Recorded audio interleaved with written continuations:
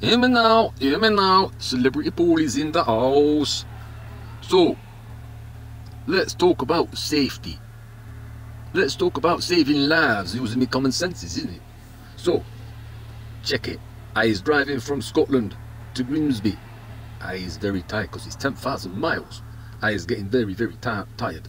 So I need to pull over on the side of the road and chill out. Chill out, relax, and have a spliff. Do you think that that is lawful or should be lawful and, and should be legislated for so that people can be safe?